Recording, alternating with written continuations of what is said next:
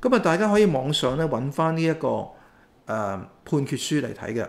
全文咧一百一十九頁。我冇可能喺個地方逐句讀俾大家聽，可行咧佢即係 opinion of the court 咧，大家可以詳細睇，好寫得好好嘅。我哋我呢本判決書寫得好嘅，佢有一個咧摘要嘅，摘要不能取代正文，OK？個摘要俾大家睇，容易啲俾大家去明白嘅 syllabus，syllabus 即係香港叫課程係咪？咁 syllabus 咧就基本上就係將呢個摘要基本上好清晰咁樣樣講出嚟，咁就指出咗喺今年嘅四月二十五號開始進入咗程序，即係開始誒、法院受理，一路去到咧七月一號咧 decided，咁你可以揾翻咧 number 二十三。跟住 hyphen 九三九號判決咧，就係、呢個判決係 Trump v Trump versus United States，OK？、咁呢一個咧就係話咧，啊、佢我就開始講嗰八頁俾大家聽啦，俾大家一個基本嘅印象啦。可能下面我講都係啲啦啦咳咳，希望大家唔好介意啦，因為呢個原文係英文啊，冇中文翻譯噶，依美國點會中文翻譯係咪？咁佢就話根據一個權力分立嘅原則咧，總統嘅權力咧，誒嘅性質咧，係俾到一個前總統一個絕對嘅豁免權免受刑事嘅起訴。喺佢最誒、最結論性同埋呢一個係誒呃 conclusive and preclusive，即係啱啱講過兩個原因，一個核心，一個係即係推定嘅，呢、個係憲政嘅責任之下咧，佢有絕對嘅豁免權嘅，OK，咁誒、official acts，OK，但係對於呢一個 unofficial acts，即係非公務行為咧，係冇豁免權，OK，咁對於其他嘅所有嘅公務行為咧，係至少有咧推定嘅豁免權，呢、個就係判決嘅主文，就係講呢樣嘢啦。咁佢又話咧，誒、uh, 呢個係。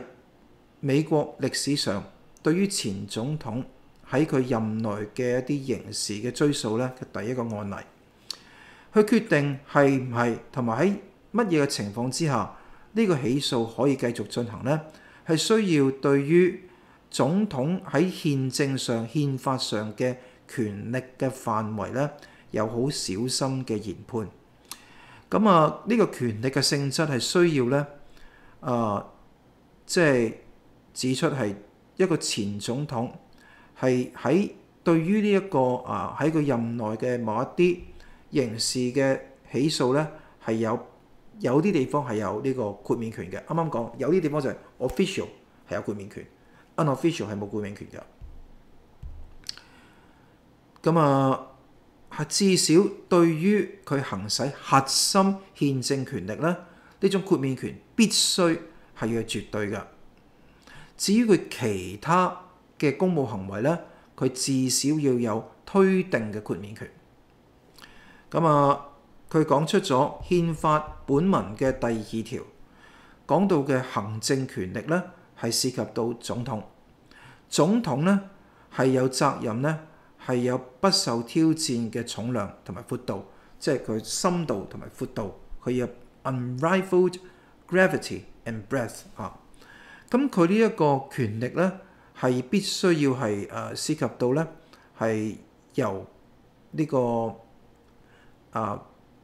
國會或者係由呢、一個啊、憲法咧所賦予嘅一定嘅權力，因為都係根據憲法嚟處理。喺憲法本身嚟講咧，憲法賦予嘅權力本身嚟講咧，總統嘅權力係有時候係 conclusive and preclusive，OK，conclusive、okay? and 誒、uh, conclusive 就係終局性，conclusive 就係終局性，final conclusive and preclusive 基本上即係誒 preclusive 係全面嘅。咁啊，當總統去行使呢啲權力嘅時候咧，國會係不能夠啊係干預，法院亦都不能夠去審查總統嘅行為。咁即係話咧，誒、國會係不得咧去將總統任內嘅行為咧去刑事化。OK，咁啊唔係所有總統嘅公務行為咧都係叫 conclusive and preclusive 嘅，即係唔係呢個 conclusive and preclusive 呢個核心之外嘅地方咧，我哋就叫做咧，佢係有一啲地方喺佢嗰個誒呢、呃呢個行為裏邊咧，只要佢唔會涉及到佢要同國會分享權力，咁基本上佢會享有呢一個絕對嘅豁免權㗎。咁要決定確定喺呢個背景之下，總統有冇豁免權呢？法院需要首先睇返呢一個誒呢、呃呢個憲法嘅起草者咧，究竟係誒佢設計呢個總統喺權力分立同埋對於呢個總統豁免嘅一個情況裏邊咧，係點去設計嘅？咁啊，佢會認為 framers 咧，即係當時候呢班憲法嘅起草者係誒設計到總統呢個職位咧，呢個好緊要啦。To provide for a vigorous and energetic executive 係一個非常有活力、充滿能量嘅一個行政嘅一個重要嘅首首領，係一個 vigorous 佢有活力、好活潑，而且係 energetic 嘅首領。即係話咧，佢可以好聰明，耳觀耳聽八方，眼觀四面，能夠咧好敏鋭咁作出佢嘅行動，係基於佢嘅能力、佢嘅常識、佢嘅各方面嘅敏鋭嘅觸覺去做做嘢㗎，唔係一個咧擘大口得個窿嗰啲人啊嘅做嘢嘅方式啊，即係話咧點樣敏鋭咁樣任事啊？咁佢哋係誒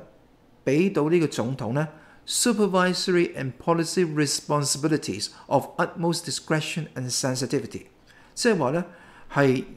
喺呢一個監督與及政策嘅責任方面咧，係有絕對嘅最最大嘅應該最大嘅呢一個裁量權同埋呢個敏感度。呢、個係根根據 Nixon versus Fitzgerald 嘅 case 啦，呢個係尼克遜時代嘅 case 啦。咁啊，知道呢、一個誒、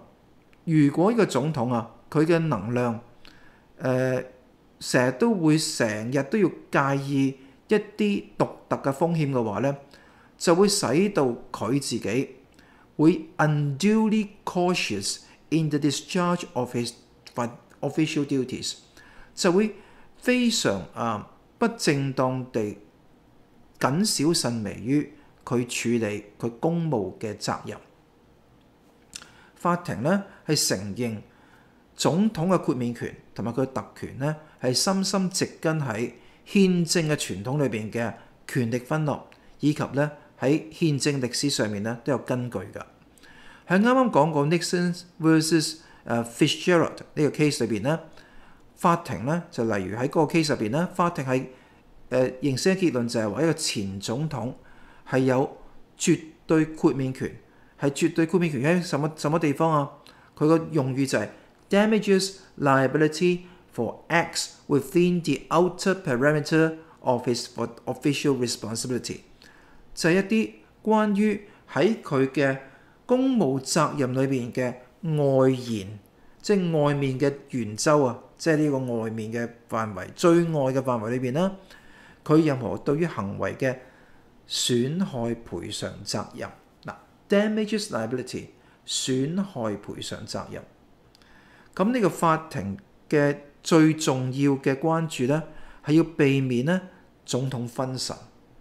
去注即係話咧喺佢做決策過程中咧，俾一啲毫無必要嘅一啲擔憂咧所衝垮。OK，所以呢一點係佢哋要做。同時佢引用 Clinton versus Jones 嘅 case。OK。去做呢、一個誒、即係墊底。佢話咧，相反咁嚟講，當呢個控方即係檢控，即係檢控官啦，係佢要尋找證據咧，啊、由總統尋找證據嘅時候咧，啊、法庭咧係一致時常一直咁樣樣去排除咗啊、呃、總統呢、一個啊。呢個係啊、即係對於絕對豁免權嘅一啲請求㗎。咁啊，譬如話係關於啊、以前嘅一個副總統啊，就 Aaron Burr 當時候嘅呢個 treason 叛國嘅審判咧，當年嘅 Justice Marshall 馬歇爾法官咧就係、拒絕咗當時嘅誒、第三任總統啦，應該係 Thomas Jefferson 去呢一個 claim 就係話總統咧唔可以咧去接受呢個人身保護令。咁 Marshall 係同時候承認啦，誒、呃、當有個特權去誒、withhold certain official papers，有啲公務文件佢有特權繼續去擁有嘅時候咧，呢、這個係依然係保持住呢一樣嘢嘅人身保護令係被呢一個攞出嚟嘅時候，大家睇到喺尼克遜嘅時期，咁法院亦都係咧係誒拒絕佢 claim 呢個 absolute privilege 絕對嘅特權，呢、個唔俾嘅。United States vs Nixon，咁啊，但係同時又承認咧，誒誒，即係話喺出於公共嘅利益咧，總統喺做任何決定嘅時候，坦誠嘅、客觀嘅，甚至冇一啲尖刻或者好啊嚴峻嘅一啲意見咧，係可以有嘅。咁啊，亦都係咧。係有個推定嘅特權咧，去保障總統嘅與人哋嘅通訊嘅內容。咁啊，因為呢個特權咧係關關係到咧總統權力有效嘅行使，法庭咧就視之為咧對於政府運作嘅係基本嘅，而且係深深植根喺美國憲法裏邊權力分立嘅制度入邊嘅。誒、同時，法庭亦都覺得咧，對於總統係刑事去控訴佢任何嘅公務行為嘅話咧，係毫無疑問係產生一個咧非常大嘅風險同埋威脅，係侵入到侵害到總統嘅權力以及行政機關嘅功能。誒、呢、這個風險咧係大於咧誒法庭去承認。呢一個總統喺民事損害賠償責任入邊嘅絕對豁免權，咁係擔心咧總統係會被寒蟬效應衝擊，冇辦法去做出一個咧 bold and unhesitating action。作為一個獨立嘅行政首長，佢係冇辦法做到一個咧勇敢而且毫不猶豫嘅一個行動嘅。咁啊〜儘管咧，總統咧可能會對於呢、一個誒誒、即係總統事實上對刑事被人哋追訴嘅機會咧，比民事機會少。咁但係咧，一個審判啊、判決同埋監禁嘅風險咧，係會多於即係話咧啊民事賠償裏邊咧所產生嘅損害賠償嘅一個阻嚇力㗎。咁呢一種咁樣嘅不敢於任事嘅猶豫咧，係會係相當有損害性，導致總統去做決定嘅時候咧，係會啊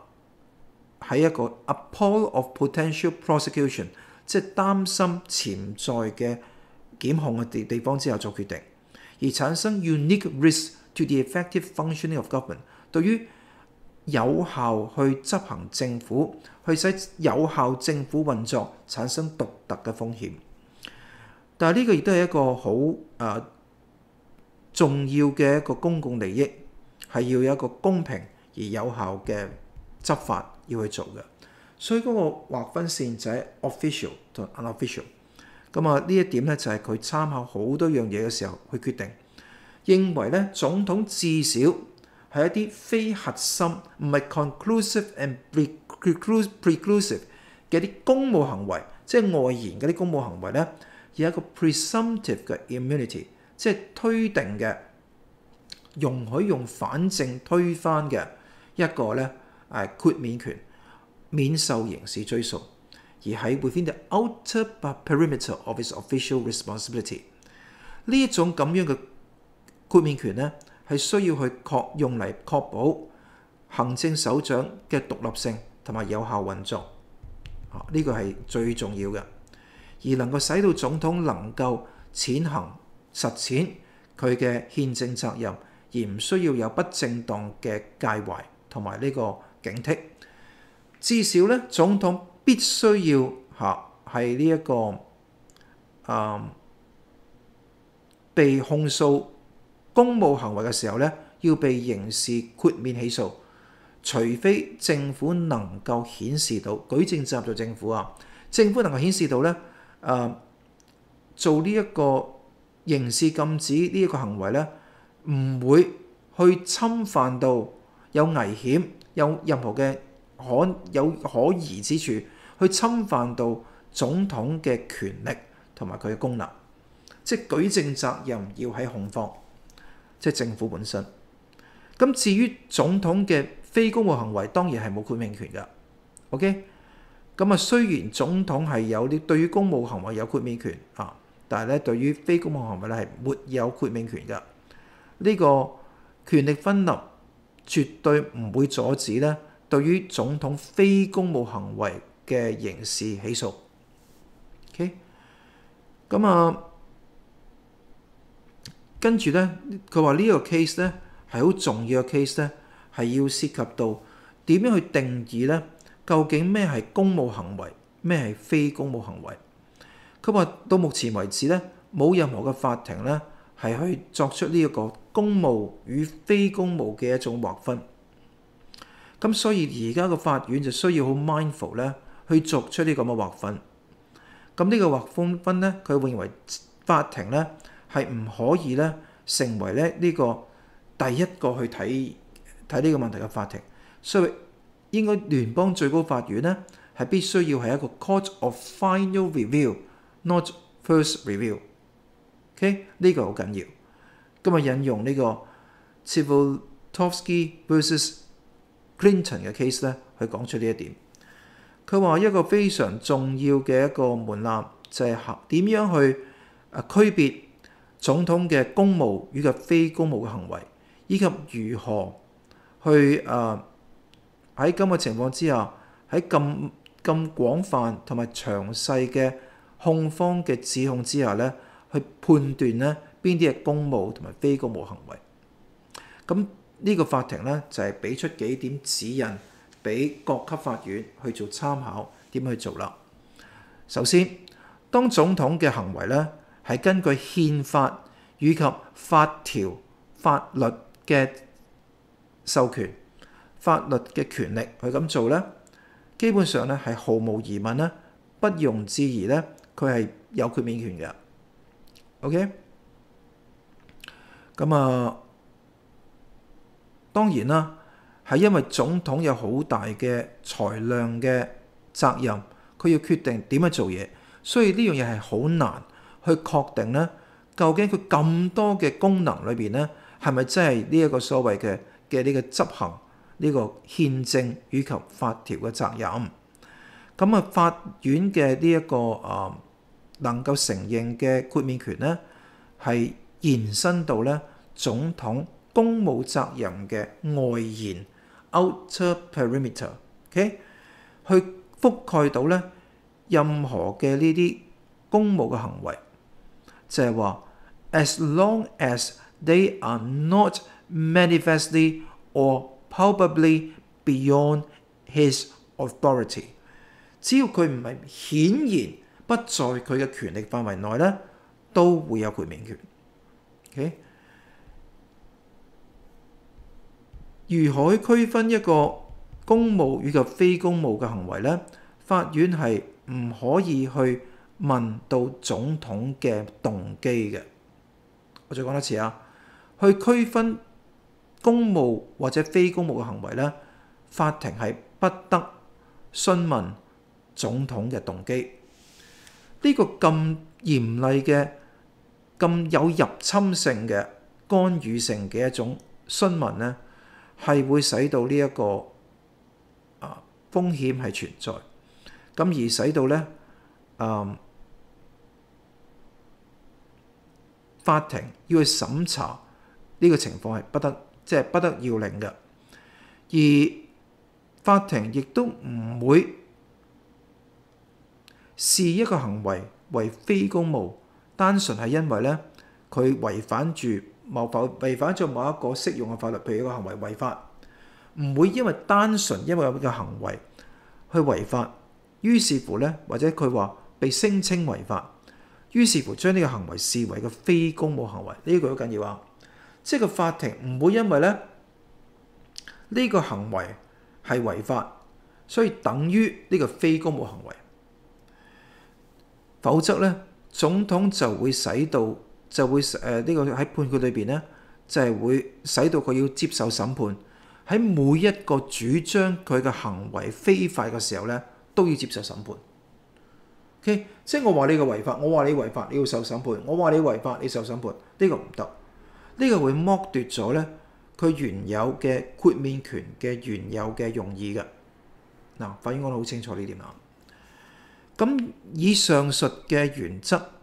為呢個軸心咧，法庭係而家講到咧關於被起訴嘅行為本身啦。某一啲嘅主張，例如講到去侵侵，誒同呢個 acting attorney general，即係呢個處理呢一個律律政司啦，即係處理嘅呢個檢察總長嘅討論咧，就係話應該被定義為咧係總統公務關係。同埋佢另即係同埋佢另一位公務員嘅一個另一個公職人員嘅一個公務關係，呢個就係第一樣嘢。其他嘅 allegations 包括咗咧，侵侵去誒涉及到誒佢關於副總統嘅一啲互動關係，同一啲州嘅官員嘅關係，同埋一啲私人團體嘅關係，同埋佢點樣對公眾去評價一月六號事件嘅關係咧？呢啲就係。present more difficult questions，呢啲會更加多嘅一啲困難嘅問題。咁啊，第一咧就係、呢個係起訴裏邊咧聲稱咧就係、是、話總總統係有陰謀去啊推翻二零二零年嘅選舉嘅結果。咁啊，侵侵同埋嗰班所謂嘅合謀者咧就係話佢哋合謀咧去呢、一個誒、利用司法部嘅權力去。啊！說服某一啲州咧，去取代佢哋合法當選嘅一啲選舉人，係用侵侵一啲虛假嘅一啲選舉人去塞入去。咁根據呢個咁樣嘅控訴嘅事實，先不論真假先啦。呢、個控訴事實咧，咁啊，侵侵係見過呢一個處理檢控即係總長，咁就同埋其他司法部同埋白宮嘅官員。去討論咧，去調查呢一個選舉舞弊，同埋咧俾咗封信俾呢一個司法部啊，即係司法部嘅信俾咗啲其他嘅州，係關於呢個司法詐詐騙嘅誒、選舉詐騙嘅問題。咁呢一個所謂嘅控罪咧，就再次聲稱咧，就係、是、當呢個處理呢個檢察總長。拒絕侵侵嘅要求嘅時候咧，侵侵屢次要挟佢要取代即係替換呢個檢察總長。嗱，呢個政府咧就冇爭議到咧呢一個控罪嘅本身，啊係關涉及到侵侵行使公務權力嘅。OK，呢個不爭嘅事實。而呢一個係啊政府嘅控罪咧，事實上係單純係。暗示緊侵侵嘅 conclusive 係最終嘅，同埋 preclusive 嘅，即係排他性嘅權力。咁啊，行政機關咧係有排他性嘅權力，同埋絕對嘅裁量權，去決定咧乜嘢嘅犯罪係需要調查同埋起訴嘅，包括咧對於個選舉犯罪亦然。而總統去管理呢個行政部門，需要總統本身係有不受限制嘅權力去誒、炒任何入邊嘅官員，包括檢控總長在內。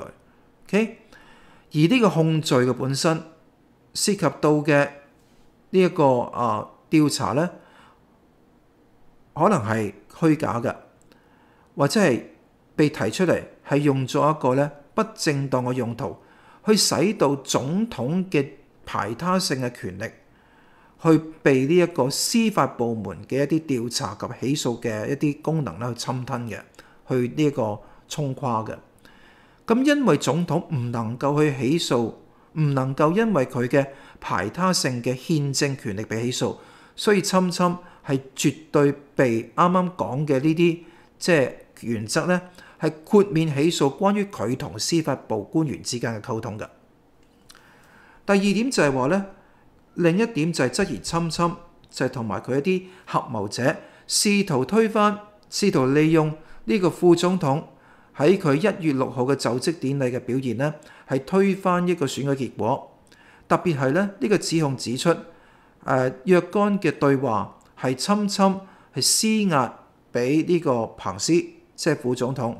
去拒絕州正當選出嚟嘅選舉人嘅票嚇。而要求佢哋 send back，即係去退回咧每個州嘅立法機關咧去重新審驗。咁當總統同埋副總統討論佢哋嘅公務權責任嘅時候咧，佢哋亦都係咧係從事公務嘅行為。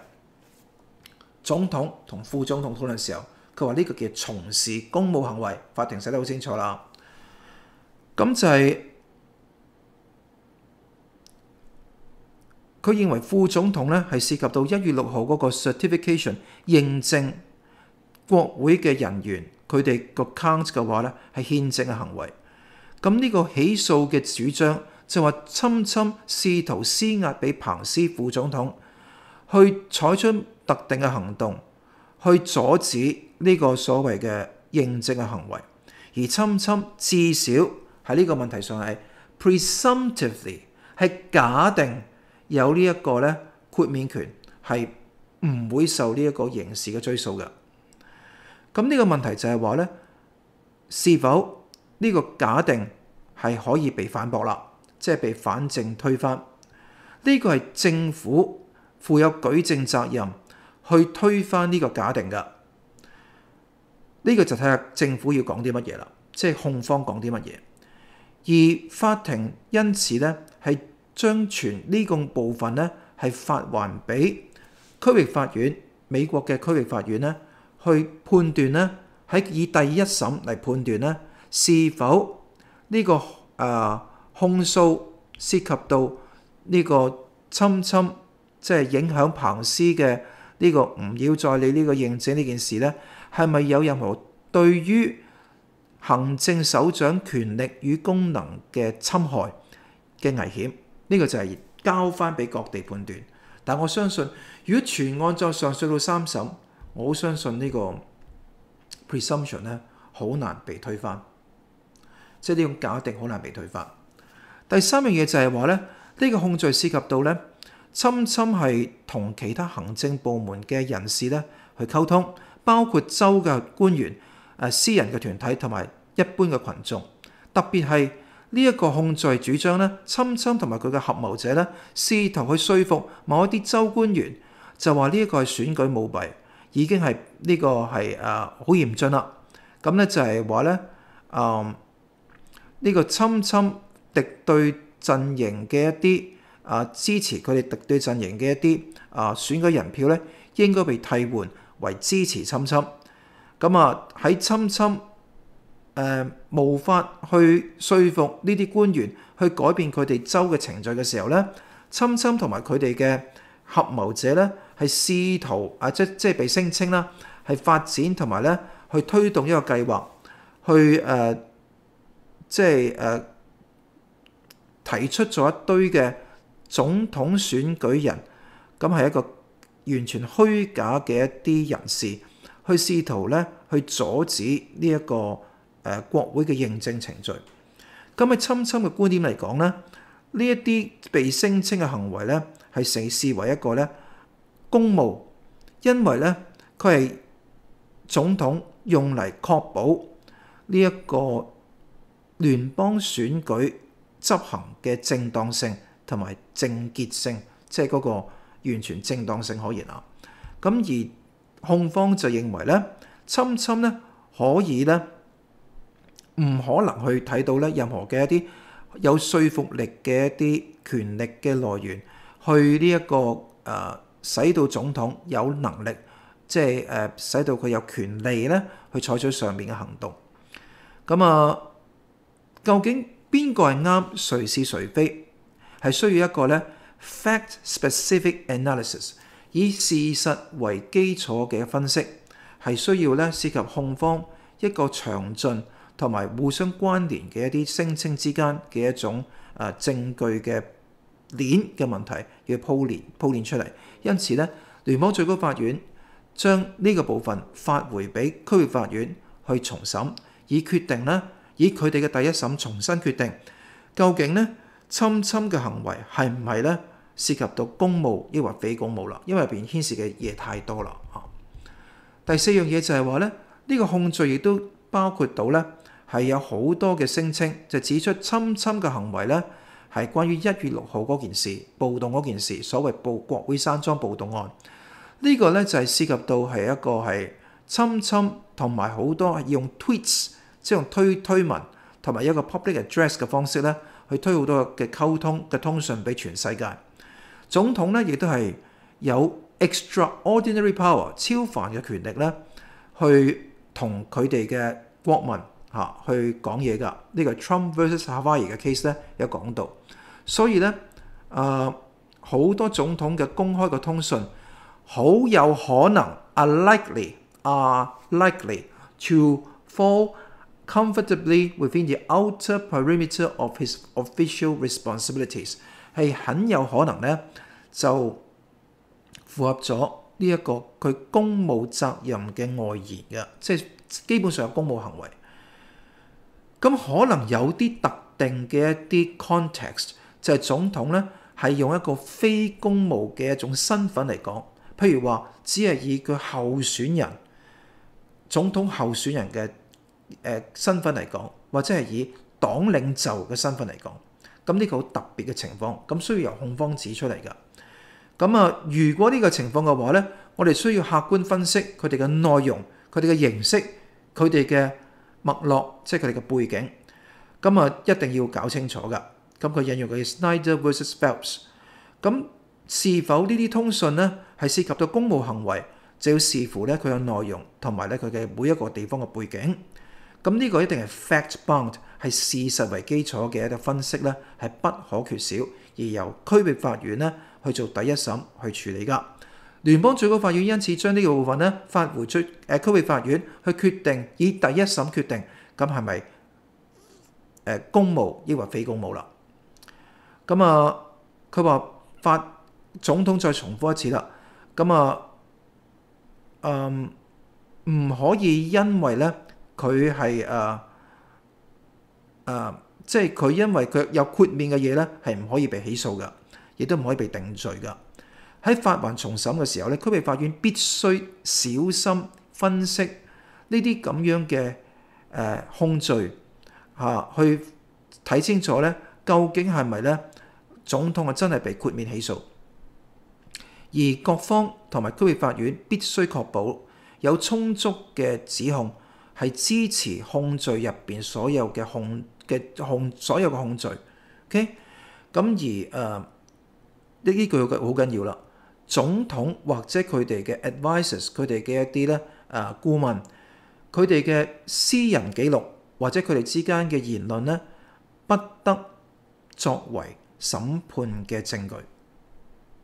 OK，不得作為審判嘅證據。跟住落嚟，佢又講到侵侵咧，基本上係誒、有一個。比以前誒、即係侵侵佢團隊，佢主張更多樣嘢，即係佢我略過唔講啦。就係啱啱講嘅就係法庭認定嘅內容啦。即係侵侵主張嘅嘢，比法庭而家認定內容更加多。法庭不採，控方認為咧，基本上總統係冇刑事任何嘅刑事豁免權嘅，法庭亦都唔採納呢個態度。啊，咁呢個我兩段略過，我直接跳到最尾呢一段。呢一個案件咧係有一個咧非常重大嘅問題嘅。嗱，呢個就係咧全個聯邦最高法院都留一手。When may a former president be prosecuted for official acts taken during his presidency？OK，呢個就係一個咧誒有非常長遠意義嘅問題。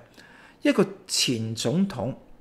係幾時先至可以為佢喺總統嘅行公務行為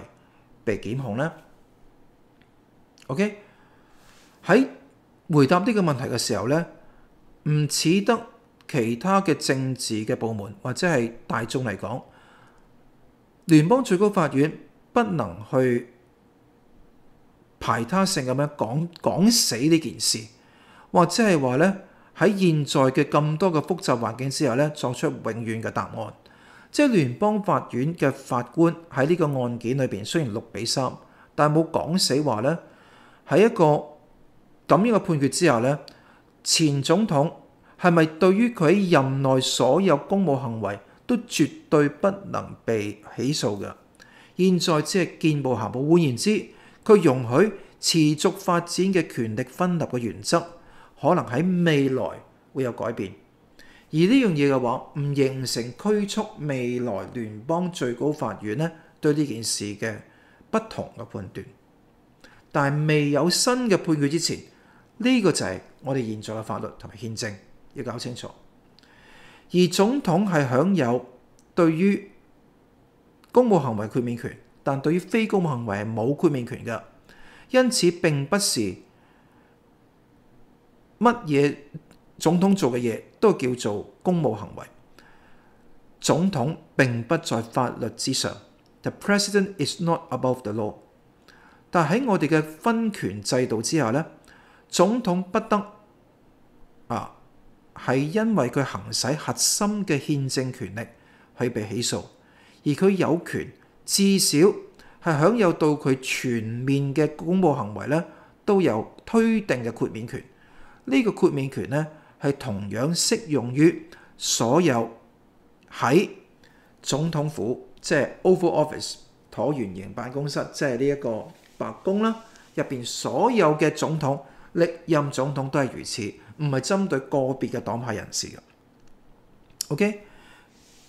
贊成呢個判決最尾講嘅咧就係 John Roberts 啦，佢係寫呢個判決書嘅主文嘅人啦，Justice John Roberts 啦。咁啊，另外 Thomas Alito、誒 Gorsuch 同埋 k a w a n a 咁佢哋呢幾個人咧都係保守派嘅法官，都係參與其中。另外 Barrett 就係亦都係參與其中，係尤其部分參與其中。Thomas 就係基本上有個協同嘅協同，就係話協同意見書啊，就係話結論同意，但係可能理由方面咧有少少唔同。咁所以呢篇好似一百一十九頁嘅文件咧有晒呢啲協同意見書嘅。所以我數咗 Roberts、Alito、啊 Gorsuch、Kavana，跟住咧 Barrett、Thomas 呢六個人咧係認為侵侵勝訴嘅，認為侵侵唔勝訴嘅。咁基本上咧，阿 Barrett 亦都係講緊係協同意見書，Thomas 同 Barrett 各自有協同意見書啊。咁啊 Barrett 個部分協同意見書，Thomas 係叫做一個協同意見。咁另外有三位嘅人士咧就係、自由派嘅法官咧，佢哋都係不同意見書 （dissenting opinion），即係話咧，侵侵敗訴，跟住寫出佢哋自己嘅心跡。但係當然判決結論就唔係坑佢哋嘅，但係佢哋通常聯邦最高法院都有不同意見書附喺判決之中嘅。Sotomayor 同埋 Kagan 同埋 Jackson 咧，都係有一份嘅合併嘅一份不同意見書。另外啱啱講嘅 Jackson 自己單獨寫一份不同意見書。基本上係今日嘅情況就係咁。啱啱呢個 syllabus 咧就講得好清楚噶啦。